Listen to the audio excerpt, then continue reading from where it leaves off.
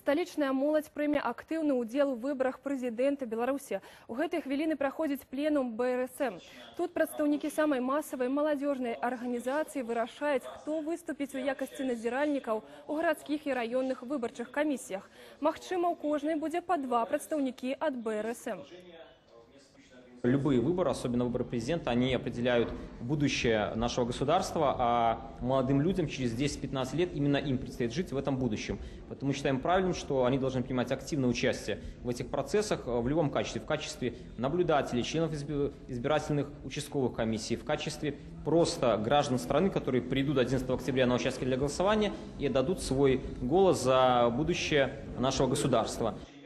Дарэчы, у сталіцы дзейнічае маладзёжная палата. Нароўні з дэпутатамі моладзь удзельнічае ў распрацоўцы розных праектаў для горада.